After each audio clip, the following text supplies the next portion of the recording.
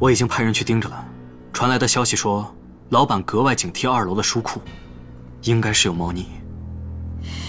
三哥，接下来的事就交给我们哥俩吧，绝对给你来个直捣黄龙。你们千万别乱动啊！既然是书局，那老板一定是知情者，莫要惊动了他。好，是。唐晶姐姐，我的镜子还能找回来吗？啊，姐姐马上就帮你拿下来啊！杭景姐姐，再往前一点儿。哦，好。再往左一点儿。往左吗？再往前面一点儿。好好好。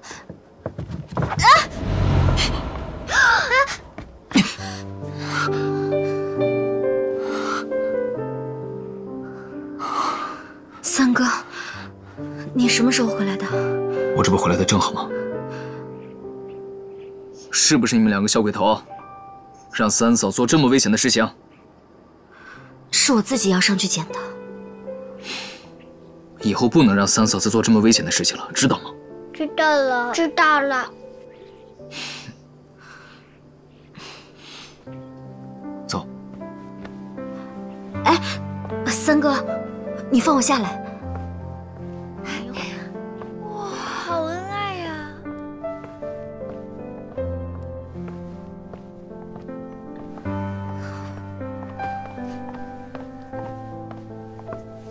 姑爷，药来了。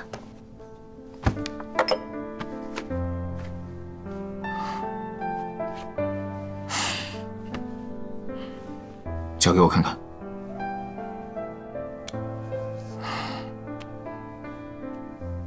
你看看，都肿了，又没有伤到筋骨，不碍事的。你没事爬那么高干嘛呀？捡玩具，这种事让萧荣做不就行了？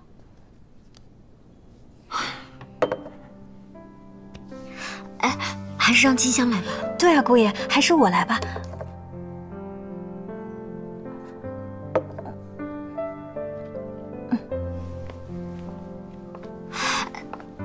他兴许厨房里还有点事儿，我来吧。